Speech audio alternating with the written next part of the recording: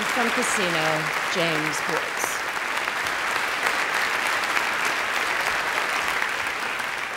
We don't want to get too serious here, okay? I mean, the guy's the greatest filmmaker, innovative, cutting edge, and so on. I think it is appropriate, by the way, that Marty is on the dais with William Guffman, who preserved the oldest known film uh, in history.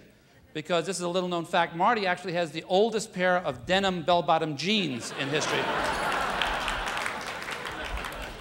Any of you have worked with him, you know he has worn them every day on the set for the past actually 25 years. And the good news is that, uh, as Marty. Marty knows that style is coming back. It's just been a little unfortunate that he's worn those for the past. Have you ever seen a picture of Marty Scorsese where he wasn't wearing those bell-bottom denim jeans? And what's really like excruciating about it, if you don't mind my saying, Marty, honestly,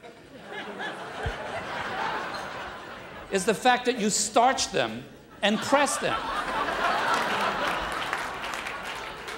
And I have to tell you, it's not just that he starches them and presses them, he has them done like at a sheet metal place. I mean, if you tripped over the guy, if you tripped over the guy, you would get a gash in your ankle. This is a true story.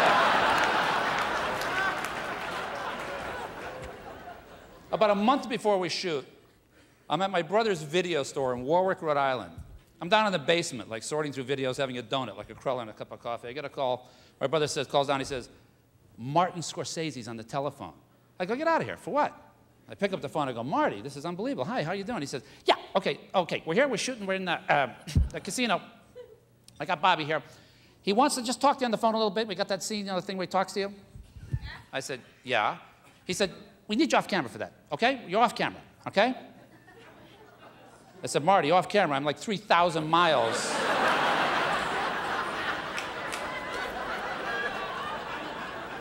Off camera, okay? And meanwhile, by the way, I'm getting like paid in like baseball cards, okay? The any price thing.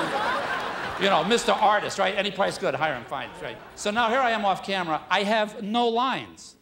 I got Marty Scorsese listening into the scene. I got Bobby De Niro, another really incredibly sane guy. We do six or seven takes. I'm sitting on a milk crate in Warwick, Rhode Island, while this lunatic is acting, this lunatic is listening, and I'm doing nothing. And on the seventh take, Marty says to me, Jimmy, I didn't quite believe you on the last take.